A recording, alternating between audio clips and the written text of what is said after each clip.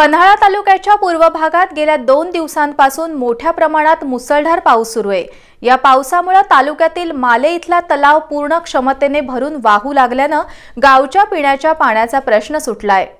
मालेतील पाझर तलाव सुमारे एकवीस एकर परिसरात विस्तारलाय. उन्हाळ्यात या तलावातील पाणी कमी झालं होतं. मात्र गेल्या दोन दिवसांपासून पन्हाळ्याच्या पूर्व भागात मुसळधार पाऊस पडल्यानं जूनच्या पहिल्याच पावसात मालेगावचा पाझर तलाव भरलाय. तलावातील पाणी मोठ्या प्रमाणात सांडव्यातून बाहेर पडू लागलंय.